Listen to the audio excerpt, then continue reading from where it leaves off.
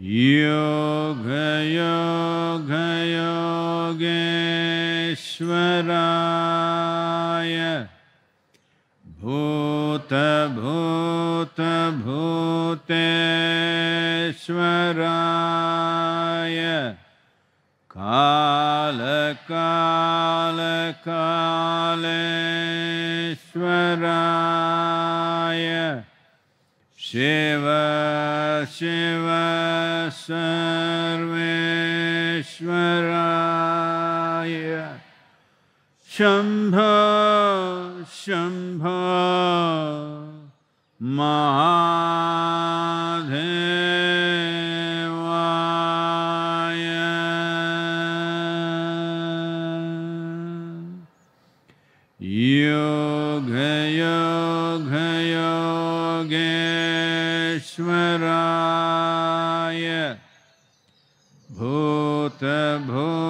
भूतभूतभूतेश्वराय कालकाल कालेश्वराय। शिव शिव सर्वेश्वराय। शम्भ शम्भ Mahadevaya. Yoga Yoga Yogeshwaraya Katabhuta Bhuteshwaraya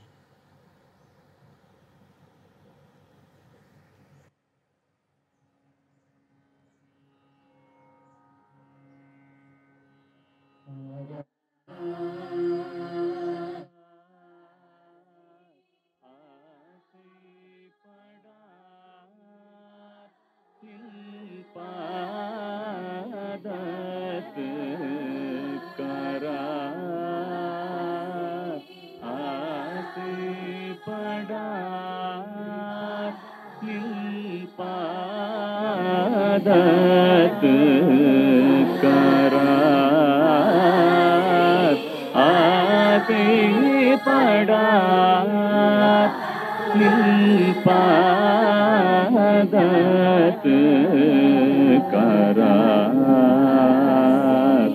ஆசைப்படார். அருள் பாராய் பதம் தாராய் துயர் தீராய்.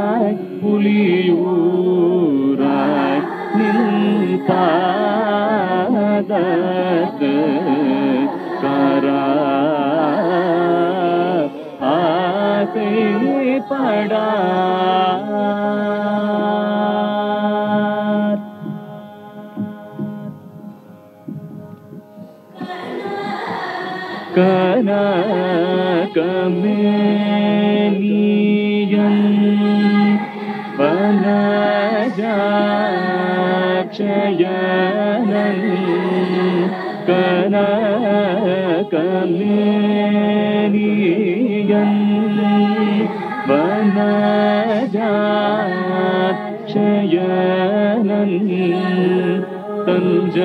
തഞ്ചമൂടൻ പതഞ്ജലി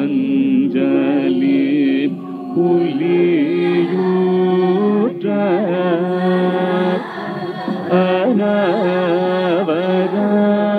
അനവരാദമും കനകതബയിൽ ആ வீச்சு வந்து என்னை தேடிய பாதத்து கரார். ஆசைப்படார். பாதத்து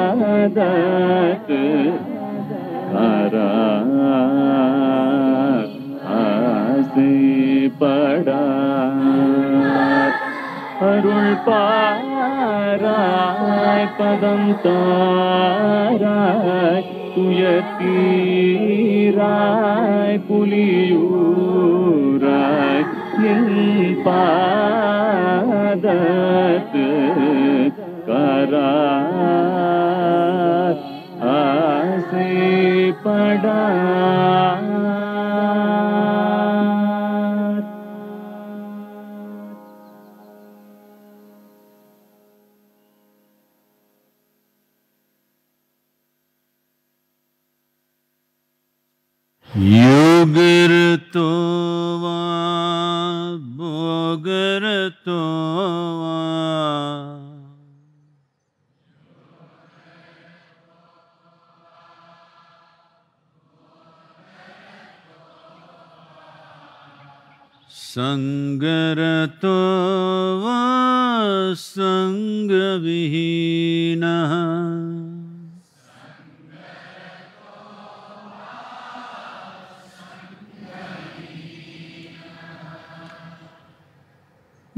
Monsieur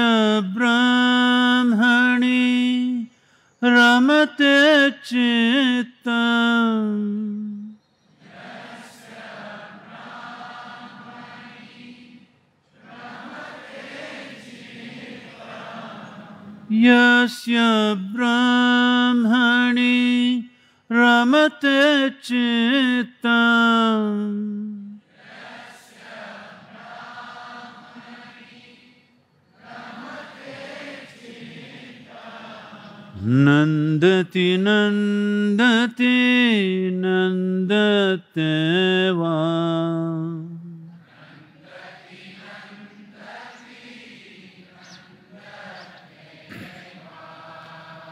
നന്ദതി നന്ദതി നന്ദത്തേവാ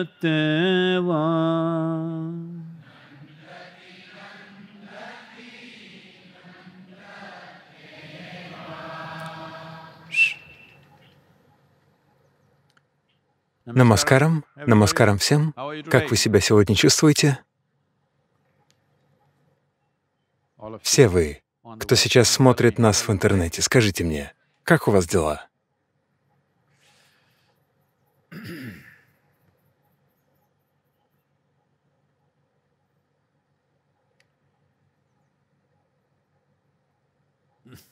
Очень важно, чтобы вы были живы и здоровы. Так что вы должны отвечать этому. И всегда будьте благодарны, потому что даже не обязательно, чтобы разверзлись небеса. Просто вирус может убить вас. Всего лишь микроорганизм. Почему я говорю это? К сожалению, люди развили такое чувство собственности. Причин много. Одна из них в том, что мы обладаем чуть более высокими интеллектуальными способностями. Я бы не назвал это разумностью, просто чуть более развитым интеллектом по сравнению с другими созданиями. У нас есть технологии, которые наделяют нас огромными возможностями. Вам не нужно быть очень храбрым, чтобы пойти и убить тигра. Вы можете пристрелить его на расстоянии километра и очень гордиться этим. Я думаю, что прежде всего виноваты мировые религии. которые поместили в головы людей эту ложную идею о том, что все остальные существа присутствуют здесь, чтобы служить вам.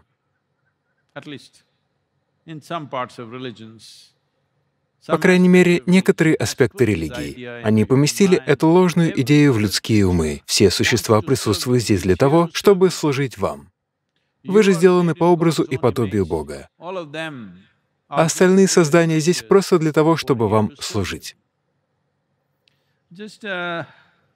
Просто идите и спросите у муравья, заинтересован ли он в том, чтобы служить вам.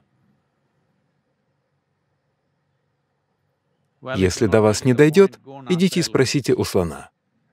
Вы сразу же все прекрасно поймете. Никто здесь вам не служит. Их жизнь для них значит очень много. Для муравья жизнь муравья значит все. Для кузнечика жизнь кузнечика — это все. Для дерева его жизнь — это все. Каждому существу очень дорога его жизнь. Именно так жизнь хранится как святыня в каждом из них, и в том числе, конечно же, и в нас самих.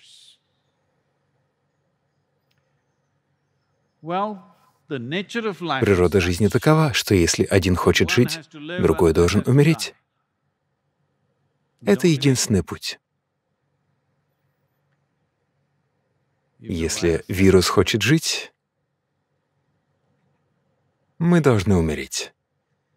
Если хотим жить мы, он должен погибнуть. Так обстоят дела. Все переплетается друг с другом.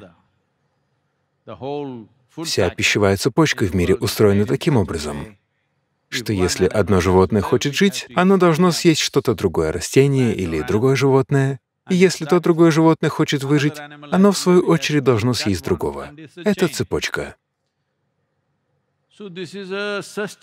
Это устойчивая пищевая цепочка. Так можно продолжать бесконечно. Но сейчас мы очень сильно все исказили. Мы думаем с точки зрения нашей выгоды. Но если мы продолжим таким же образом, это может сработать не в нашу пользу в долгосрочной перспективе. Это глупое чувство собственности по отношению к другим существам, и что они должны нам служить. Это должно быть стерто из людских умов. Это очень важно. Если мы хотим хорошо жить в будущем, очень важно понять, что каждое существо занимает свое место в мироздании по праву. И каждый из них жизненно важно для нашего выживания и благополучия. Существует множество исследований, которые доказывают это. Говорят, что если исчезнут все черви, то примерно через полтора года вся жизнь на этой планете закончится, если все черви исчезнут прямо сейчас. Если исчезнут все насекомые, то через четыре с половиной года мир, каким мы его знаем, прекратит свое существование. Если прямо сейчас исчезнут все микробы, сейчас мы сражаемся с вирусом, но давайте представим, что прямо сейчас все микроорганизмы исчезнут. В ту же секунду погибнет все, включая нас. Но если исчезнут люди, мир расцветет. Так что мы должны понимать, в чем значимость нашего существования на этой планете. К сожалению, это было сильно преувеличено в умах людей. Бог создал нас по своему образу и подобию. Он выглядит прямо как мы. Вот так. И поэтому у нас есть право делать все, что нам захочется, с любым другим существом. Если мы действительно убиваем кого-то ради выживания, это одно. Но мы убиваем только ради собственного удовольствия. Возможно, или даже совершенно точно, что единственное существо на планете, которое убивает ради удовольствия, — это человек. Ни одно другое существо не убивает ради удовольствия, только ради выживания. Это чувство собственности невероятно дорого обошлось для всей жизни на этой планете. По мере того, как это будет сказываться на других жизнях, наши жизни постепенно будут становиться несчастными. Я только что общался с группой врачей, около 100 врачей, у нас была онлайн-конференция. И они спросили меня, «Садгуру, что вы думаете по поводу этого вируса? Как вы думаете, почему он появился? Он возник, чтобы преподать нам урок?» Я не из тех, кто, чтобы когда кто-то страдает, говорить, «Ага, это будет тебе уроком». Сейчас вы либо заражены, либо потеряли дорогого вам человека, и есть много других видов потерь. Это не время говорить вам, что это урок, который преподает вам Бог. Все религиозные фанатики уже кричат о том, что это Бог преподносит нам урок. Нет, никто не преподносит нам урок. Когда вы качаетесь на качелях, вполне естественно, что если вы опускаетесь вот так из-за своего веса, через некоторое время кто-нибудь надавит с другой стороны, и одни поднимутся вот так. В жизни всегда происходит так же. Природа всегда поддерживает свой баланс. Иногда он искажается, но всегда пытается вернуться обратно. Предположим, вы были бы вирусом. Я хочу, чтобы вы просто представили такую силу. Предположим, вы были бы вирусом. И, скажем, вы бы жили в диких животных, панголинах, летучих мышах и других. Популяция диких животных существенно сократилась. За последние 50 лет на 70% сократилась популяция млекопитающих, точнее, позвоночных.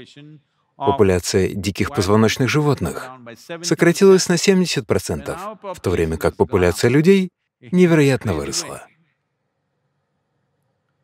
Предположим, вы вирус, живущий в панголинах, а они умирают и умирают. Ваша территория, ваша среда обитания сокращается. Разве вы бы не стали предпринимать попытки, чтобы найти себе новое существо для обитания? Разве вы бы этого не сделали? Конечно, сделали бы. Возможно, это все, что вирус и делает. Он был счастлив жить со своими панголинами много столетий или даже миллионы лет, не знаю, как долго. Но сейчас для него нет среды обитания, она стремительно сокращается, поэтому он должен адаптироваться. Он должен найти новую территорию. Когда в Европе и Великобритании стало слишком тесно, они начали отчаянно искать новые территории. Они нашли Америку, Австралию и что там еще. Переезд на новую территорию мог означать смерть. Множество людей погибло, просто пытаясь попасть туда. И много других погибло после того, как попало туда. Но все равно люди продолжали уезжать, потому что поиск новой среды обитания стал очень важным. Там, где вы жили раньше, стало тесно, жить стало негде. Поэтому, даже рискуя своей жизнью, люди уезжали на новое место. В каком-то смысле это все, что делает вирус. Я не говорю о вирусологии. Я говорю о простой разумности жизни.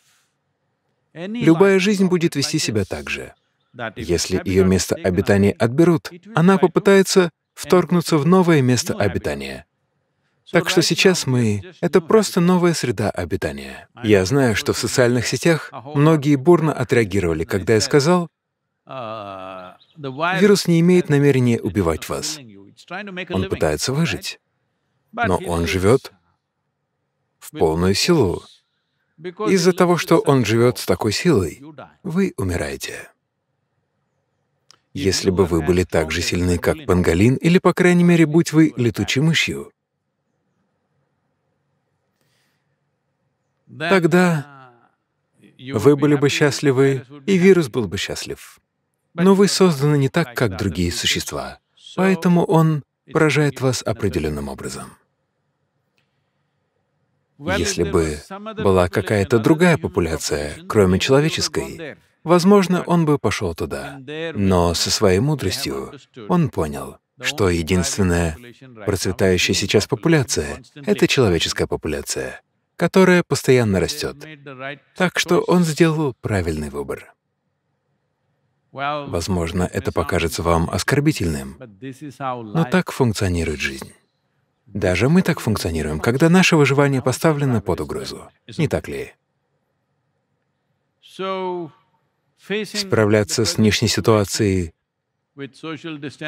социальным дистанцированием, медицинской помощью — это хорошо. Но для длительного существования на этой планете мы должны смириться с тем, что эта планета была создана для всех существ, всей жизни. Они были здесь до нас, и они будут здесь после нас. Да. Они имеют такое же право на существование здесь. Видите, все они соглашаются со мной. Они имеют такое же право быть здесь, как и вы.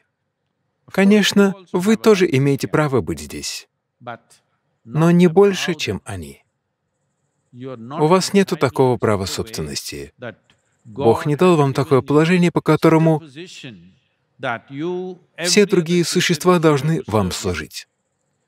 В таком случае, такой Бог понятия не имеет о том, как работает эта планета.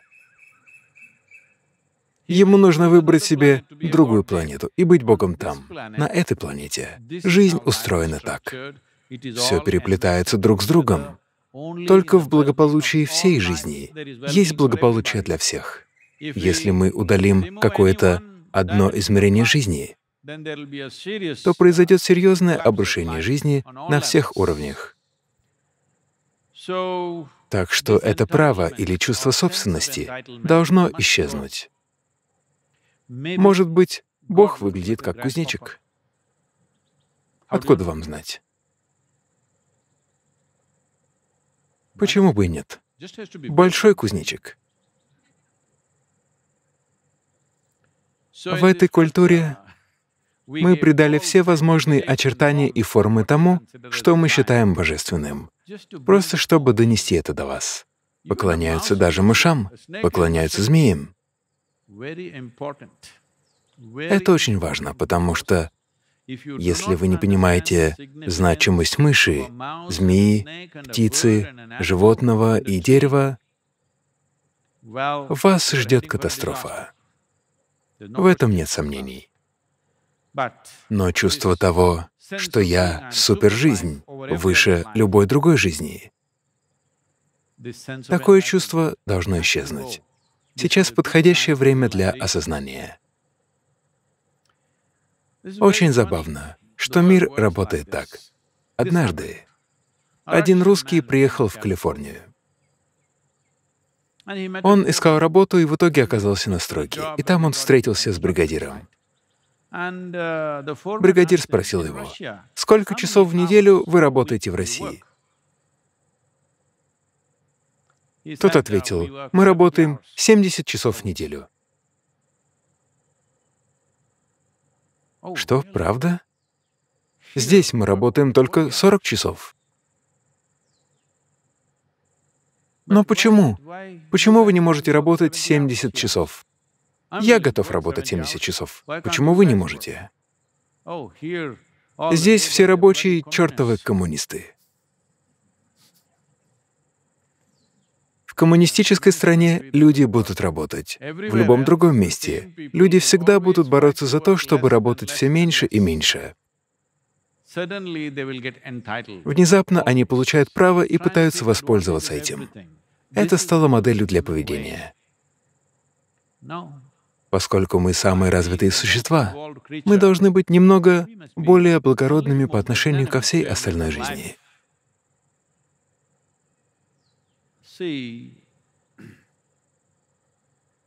Если вы находитесь на какой-то высоте, у вас должно быть иное чувство достоинства и заботы обо всем. Вы не ожидаете, что муравей будет обеспокоен всей жизнью, но вы ожидаете этого от человека.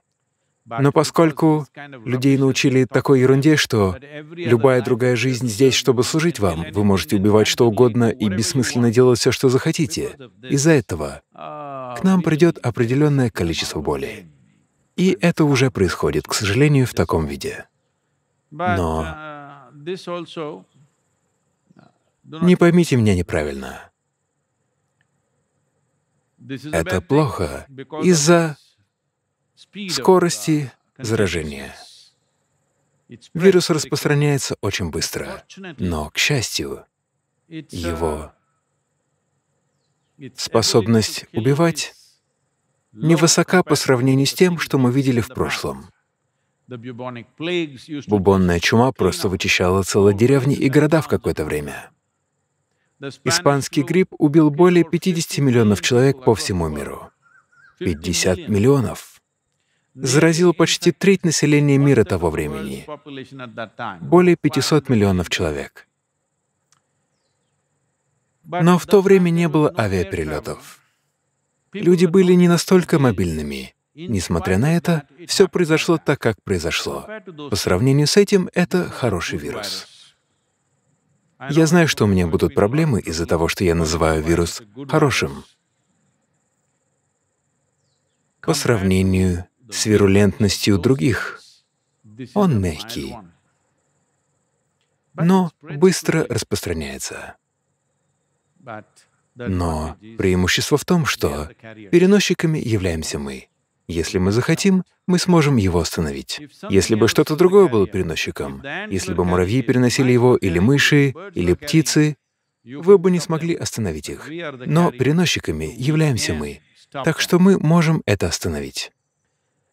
Но люди в таком замешательстве, постепенно они становятся немного более организованными. К счастью, в Индии как граждане, так и администрация, а также медицинское сообщество реагируют замечательным образом, за исключением нескольких идиотов. Большая часть населения, медицинское сообщество и администрация, политическое руководство — все я думаю, что если оценивать страны с точки зрения ответа для демократической страны, в которой нельзя применить слишком много силы, Сейчас мы показали себя лучше всех в мире. Менее 300 смертельных случаев на 1,4 миллиарда человек — это фантастический результат. Но это число может вырасти в следующую неделю-две. Таким образом, почти наверняка изоляция продлится еще две недели. Итак, те из вас, кто находится в центре Йогиша, и те, кто с нами на Даршине онлайн, все мы сейчас еще две недели.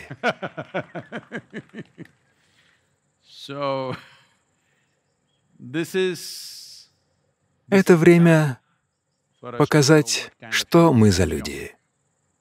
Это время когда мы можем совершенствоваться как отдельные существа. Потому что нет такого понятия, как укрепление общества. Общество — это просто слово. Нация — это просто слово. Мир — это просто слово. Все это просто отдельные люди. Без преобразования отдельных людей в мире не будет преобразования. Сейчас у нас есть такой перерыв. В это время сосредоточьтесь, по крайней мере, на том, чтобы стать лучше на 10%. Хорошо? И скажите об этом всем остальным. Я же не прошу вас внезапно стать кем-то другим и отрастить вокруг головы нимб. На 10% лучше. Просто обратите внимание на свою физическую форму. И к концу апреля должно произойти улучшение на 10%.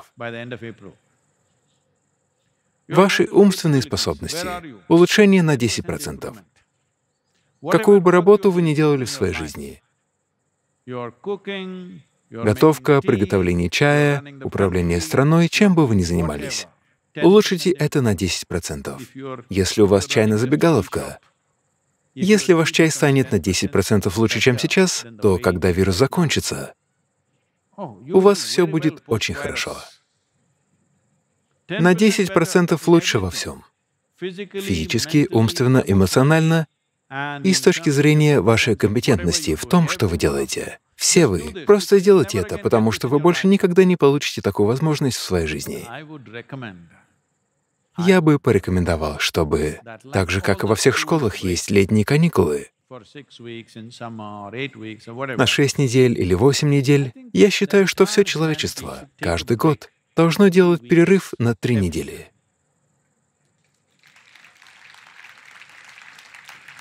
Чтобы промышленность прекратила свою деятельность, на дорогах было пусто, не было машин. Если хотите, можете ездить на велосипеде, можете ходить пешком, можете отправиться в поход, но никаких технологий. Можете использовать безопасные для экологии технологии, компьютеры и прочее, но никаких машин, производящих выхлопы, никакой промышленности, ничего такого, просто на три недели. Мне кажется, что, ощутив преимущество, через несколько лет таких ежегодных каникул, люди проголосуют за увеличение до шести недель. Да.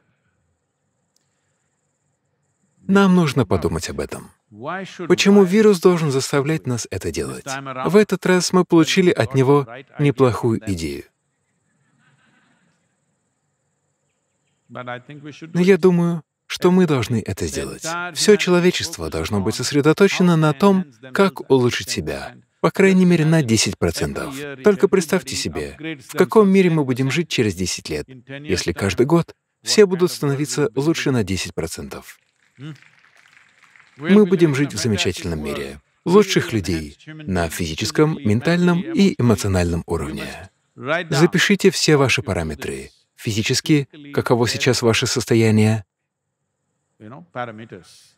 что вы можете с этим сделать, что значит стать лучше на 10%. Ваше ментальное состояние, какое оно, опишите его, не нужно никому показывать.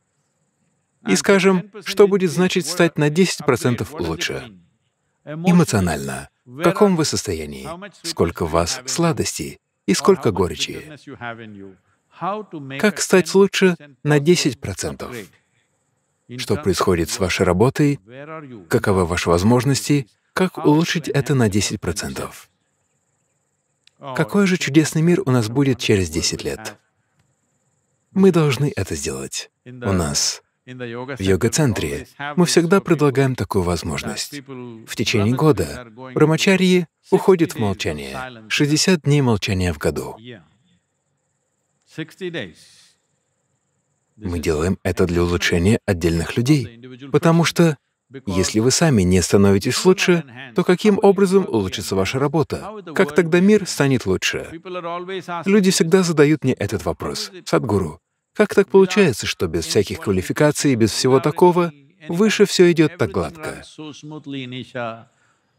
Как так получается, что они настолько качественно все делают? Ваши мероприятия вне всяких похвал. Как так происходит? Потому что мы фокусируемся на отдельных людях и на их совершенствовании. Это то, что нужно миру. Это то, что нужно стране. Это урок от вируса, и он должен стать вирусным.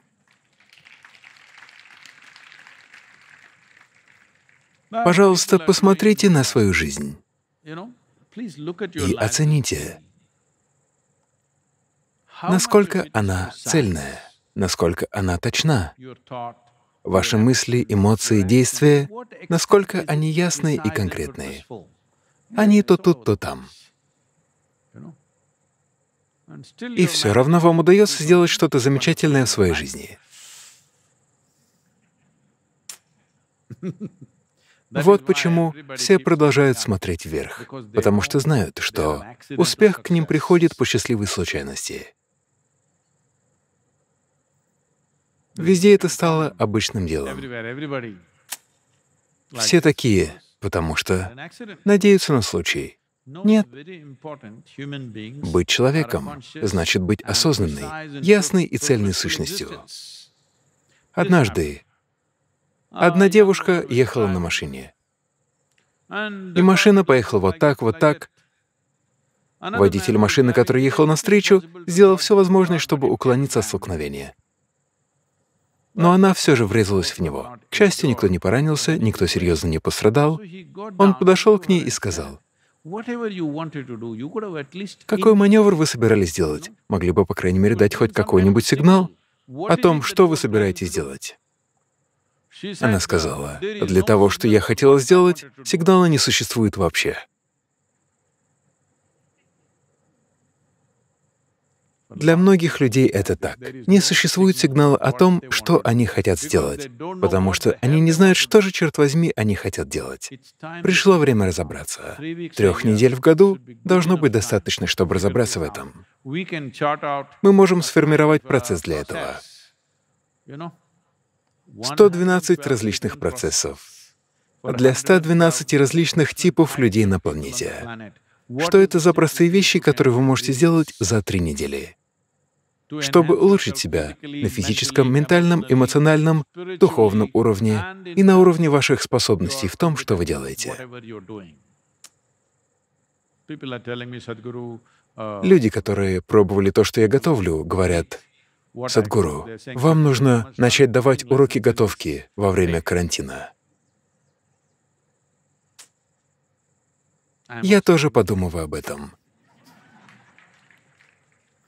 Но это займет слишком много времени. Давайте сделаем так, чтобы это произошло. У нас есть еще три недели, почти три недели. Так что используйте это время. Давайте используем его, чтобы по-настоящему улучшить себя, по крайней мере на 10%, на всех уровнях нашей жизни. Давайте сделаем так, чтобы это произошло. Вопросы? Вопрос от Ашвина. Намаскарам Садгуру. На одном из даршинов вы говорили, что волонтеры Иши отправятся в близлежащие деревни и будут работать с населением, повышая его осведомленность о вирусе. Я из Мумбаи, и я не могу приехать туда, но я очень хотел бы помочь и позаботиться о том, чтобы в сельской местности все были в безопасности. Пожалуйста, дайте мне знать, как я могу помочь, оставаясь дома. В данный момент количество человек, которым мы будем помогать, растет особенно в свете того, что изоляцию продляют.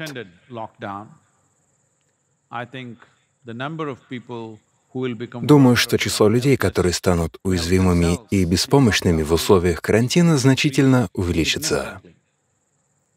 Сейчас наши волонтеры помогают определенному количеству человек в этом регионе, готовят еду. Такая потребность в приготовленной еде может значительно возрасти в следующую неделю-две. Как вы знаете, мы можем отложить все, что угодно, но не можем отложить свой обед или ужин. Мы, возможно, не сможем обеспечить их таким питанием, которое у них обычно есть. Но сейчас мы готовимся к тому, чтобы предоставить им два приема пищи в день. Для этого идет подготовка необходимой инфраструктуры, физической инфраструктуры, людской инфраструктуры, закупка продуктов, овощей. Все это происходит, как будто мы готовимся к войне. Я уже обращался к вам. Не хочу делать это каждый день, но нам нужны деньги. К несчастью, нам нужно очень много денег, потому что только тогда мы сможем помочь большому количеству людей.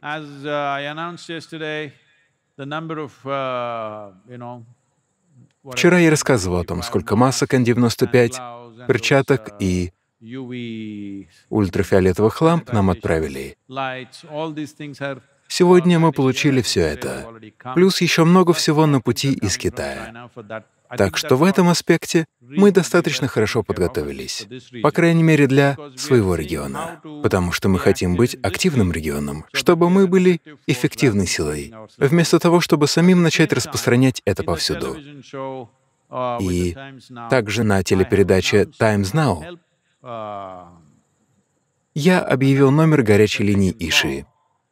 На этот номер можно отправить сообщение, если вы увидите кого-то, кто вынужденно двигается к недоеданию и голоду, что под вопрос становится обеспечение базового питания. В какой бы части страны это ни было, можно отправить сообщение, и мы ответим в течение 24 часов, задействуя волонтеров в соответствующем регионе.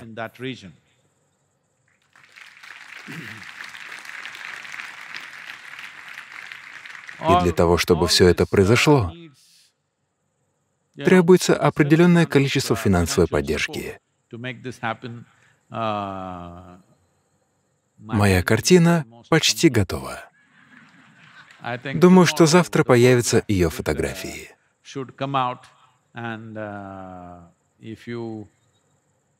Если у вас есть деньги, чтобы приобрести эту картину, вы можете ее приобрести. Мы будем продавать как оригинал, так и копии. Оригинал размером 5 на 5. Возможно, не у всех дома найдется столько пространства на стене. Мы будем продавать и уменьшенные копии тоже. Мы надеемся сделать больше. Если потребуется, я проведу несколько кулинарных семинаров, я сделаю что угодно. Все наши волонтеры работают на самых разных уровнях, в пределах социальной дистанции. Из-за этого мы не можем отправиться туда и сделать то, что мы могли бы сделать, потому что нам нужно уважать законы. И самое главное — быть в этом отношении живым примером для всех. Мы хотим создать много других инициатив, с помощью которых могут быть собраны средства. В этот период моя первоочередная задача — чтобы люди не умирали от голода. Вирус собирает свои жертвы. Это не в наших руках. Это в руках медицинского персонала.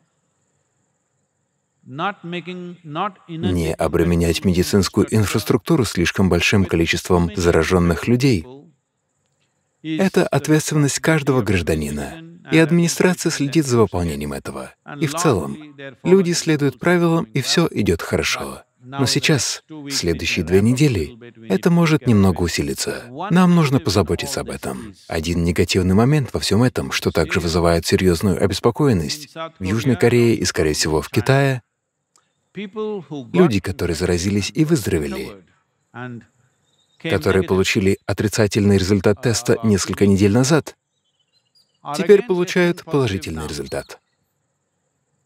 Это вызывает серьезную озабоченность. Это нечто непредвиденное.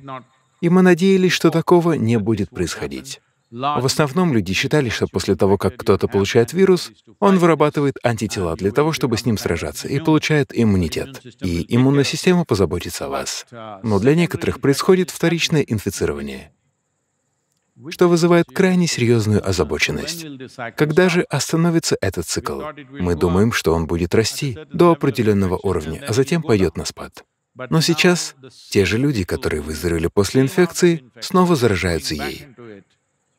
Это серьезно все осложняет, потому что мы не знаем, к чему это приведет.